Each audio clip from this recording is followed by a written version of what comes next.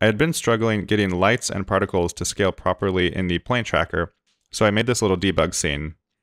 And I found that the plane tracker scales between about 0.25 and 4.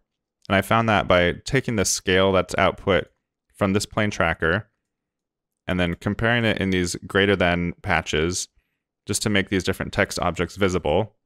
And if you're really close to the surface, like you're on the surface of a table and your phone's really close, it's going to be around 0.25. And if I stood on the top of a couch and pointed at the floor, it came up to around 4. And I'm sure if you're standing on a building, it'd be greater than that. But from what I found, 0.25 to 4 or 5 is about where the scale is going to be.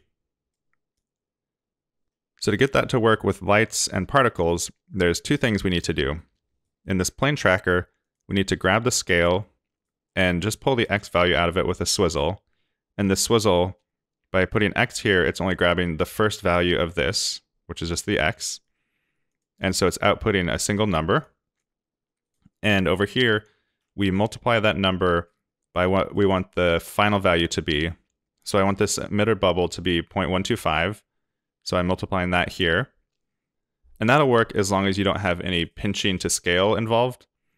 But if you want pinch to scale like the plane tracker template includes, I'm just grabbing this value here.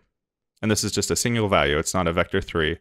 So I'm taking that screen pinch value, throwing it into a sender just to get it over here. And then I'm receiving it here, and then multiplying that again to get the final value. So all we're really doing is multiplying three values. We have the scale of the plane tracker, the scale of the screen pinch, and then the value you want the final output to be. And with that, you can scale this freely and add the plane tracker to a close surface or a faraway surface and the particles and the lights should still all fit properly and not get blown out or too large or too small. So that's just a really handy trick to figure out how to work with the plane tracker and still use particles and lights.